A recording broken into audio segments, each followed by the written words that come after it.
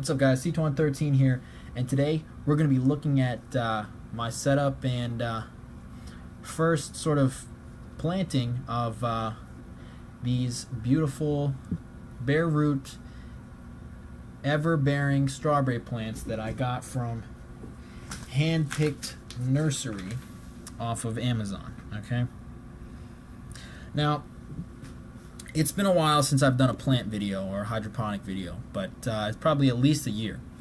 Uh, but I really finally got enough time to get back into it. So today we're going to be doing this, and we're going to be putting these into my good old Hydrofarm deep water culture system. It's a pretty small system, but again, we're working in my dorm room here, so I only have this limited space, and I've got my fluorescent setup hanging from the uh, coat rack hanger or whatever. Um, so, as you know, I'm working with limited space. But again, this is to show that you can do amazing things with very little space. Now, inside there, I've got some General Hydroponics uh, FloraGro, as well as my micro here. Um, and I've already really checked the pH, so I, I won't get into the uh, the sciencey schmiency because I feel like a lot of times, a lot of times people don't really care about that. They kind of just want to see like, you know, how's the you actually get them in the system and all that. But I have them at a dilute mixture right now. Uh, because you know they're they're going to be plenty shocked from both being bare root plants as it is and then being washed off because I've washed all the dirt off um, and then being put in. So you know all that's going to be a lot of shock for them. So the last thing I want to do is throw a bunch of nutrients at them. So I've got a pretty dilute. Um, honestly, I got it like at seedling strength. You know what I mean? So we're gonna wait and see. Give it a couple weeks, at least a week, before we up it to a, a higher level. I really want to see how they take. So, all right.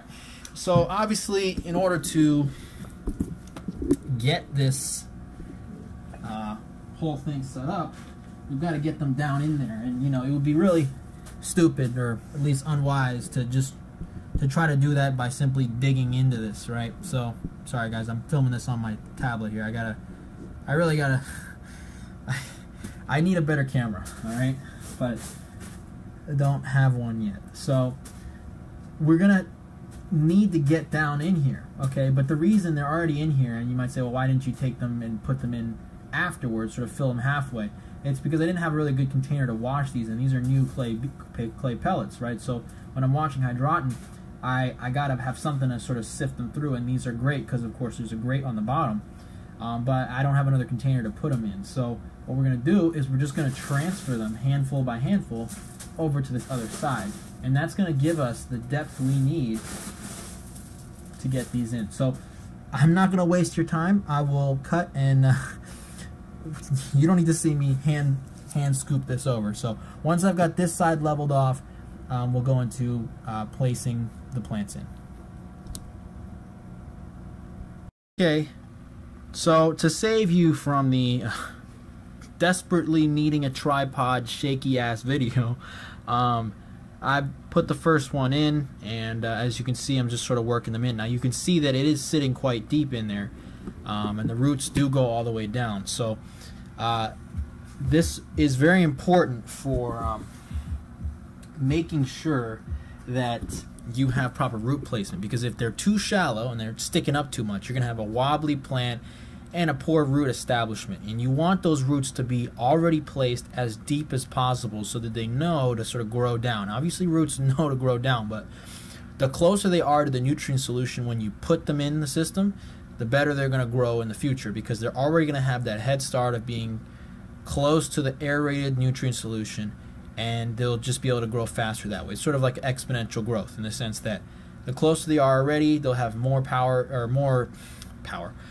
I'm tired. There's going to have more energy and nutrients um, and water to grow even faster, and that's going to further their growth even more. So it's sort of advantageous to put them down further because you get one good uh, solid root development that'll hold them in solid, and then also you'll get excellent uh, growth um, in terms of the, the rate of growth and, and how quickly they mature because they're able to get and access those nutrients faster. So I'm going to go ahead and finish this side and then I'll get back to you. Alright guys, so it's all done. I got all 12 plants in. And as you can see, the height's pretty good on all of them. Um, and, you know, I got a couple areas that I do want to level out the hydroton, but for the most part, they're sitting pretty nice and level. And now it's just going to be a good week, the week and a half um, for recovery before we're really going to start to see any growth. But anyway, guys, yep, so that is the uh, day one, first start of the uh, strawberry hydroponic grow.